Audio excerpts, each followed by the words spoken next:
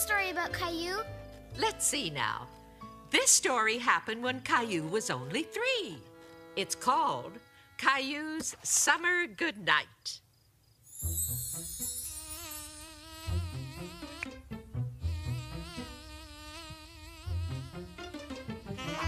When is she coming? She'll be here any minute. Good night, little tomato plants.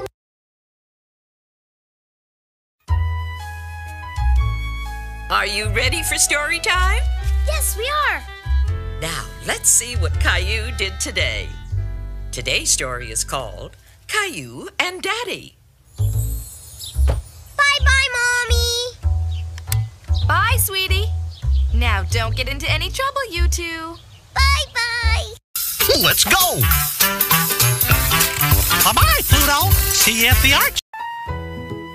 How would you like to hear about Caillou and a very special friend today? Today's story is called Caillou's Special Friend.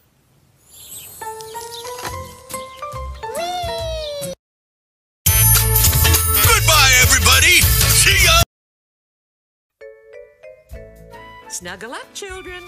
It's story time. Look at Caillou. He's having breakfast. But it's not just any breakfast. This story's all about Caillou's surprise breakfast. One morning, Caillou woke up very, very early.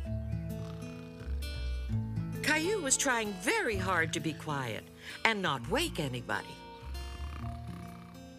Mommy, are you You're wearing it. Ah! Of course. The moron. The moron.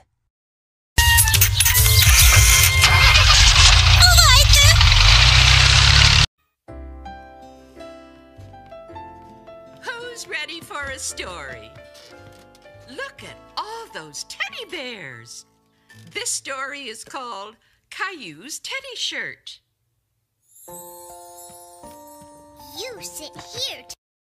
Oh, can I have my medic?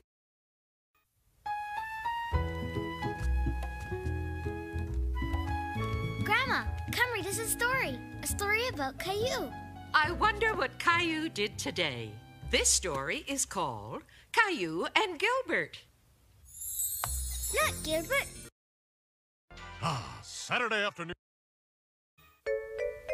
Oh, you're going to like this story.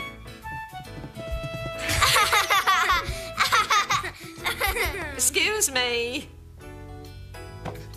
Now let's see. What did Caillou do today? Today's story is called Big Brother Caillou. It all happened back when Caillou was a very little boy, about two and a half years old.